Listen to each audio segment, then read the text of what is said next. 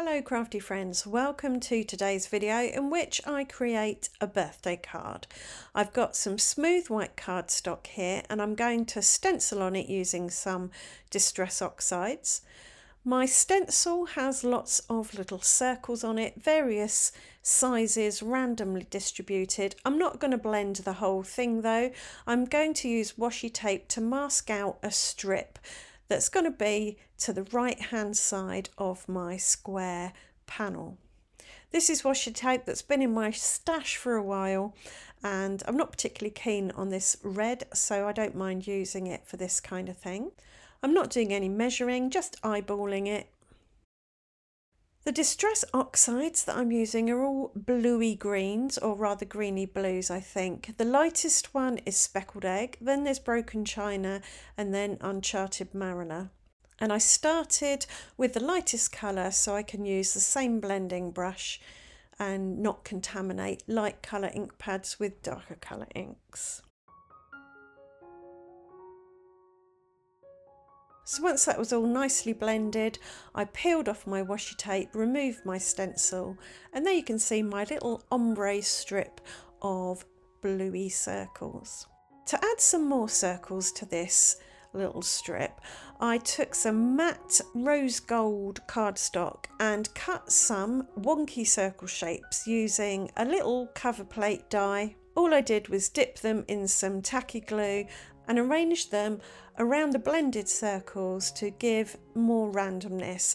And the metallic cardstock just gives a bit of dimension and a bit of shimmer to this background here. Next I use some stitch circle dies to cut out a large rose gold circle and a smaller white circle. Then I glued those together, slightly offset, just for a bit of interest. And this is going to provide the landing spot for my focal image, which is going to be a butterfly. So I die cut my butterfly from smooth cardstock, used the ink that was still on the blending tool and just blended that across the butterfly. Again, a sort of ombre going from dark to light, top to bottom. I then ran that through my Xyron sticker maker to give it a sticky back. This was a bit premature because I then decided to add some copper gilding wax to my butterfly and it got all kind of stuck with the sticky remnants of the Xyron sticker maker so really I should have done the gilding before the sticker making but never mind it looks all right in the end.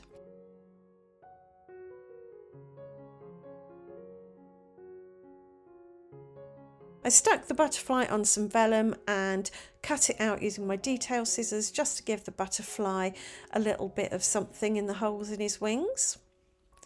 And then I wanted to add a bit of colour to my landing spot circles.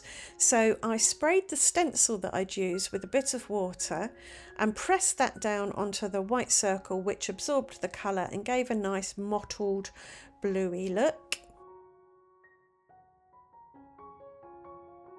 I then added craft foam to the back of my circles and stuck them about two thirds of the way up the card panel. To adhere my butterfly, I used some small glue dots behind the centre of the body and stuck that onto the landing spot. I didn't put any under the rest of the wings because I wanted the wings to be able to lift up a bit so the butterfly looked like it was fluttering. I did cut a butterfly body from the rose gold card and that brings that rose gold card to the front.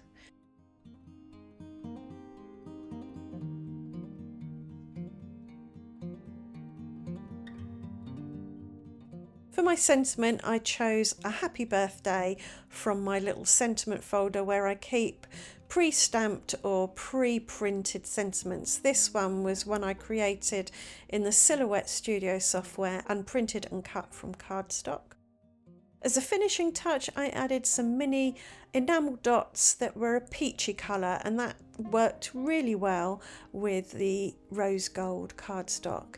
And that's it, that's this card done. Short but sweet today. I hope you've enjoyed the video and that you like the card. Maybe it's given you some ideas of something to do with some of the bits in your stash.